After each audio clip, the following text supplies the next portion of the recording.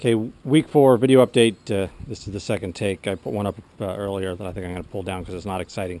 But uh, I did a lot of work today, so we'll make this the week four update. And you can see I've taken these boards off of the old fence, which was that one right there along there. And I kept them, and then I put them around here to shade the tanks from the sun. So hopefully it'll keep a lot of the heat out of the tanks. And uh, so my filter is running strong, still doing perfect.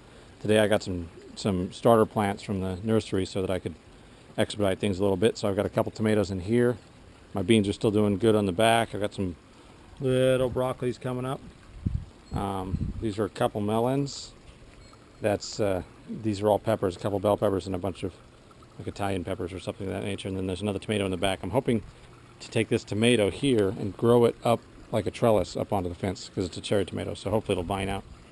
Um, these are the these are the cantaloupes from uh, before, and they're doing good. These beets are coming up nice, although I think it's going to get too hot for them here in a hurry.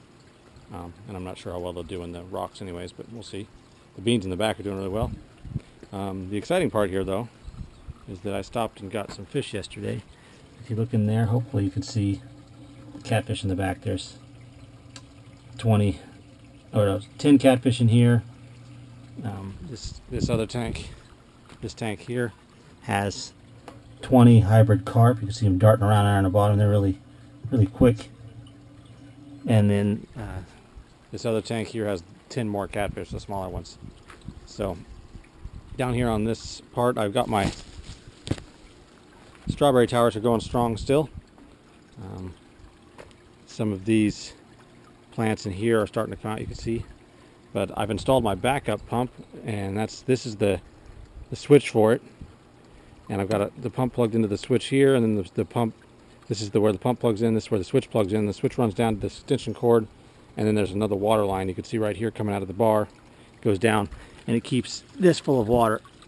And if this runs out of water, then the pump jumps up and turns on the backup or the uh, the bottle will jump up pulled by a spring and hit, turn the backup pump on.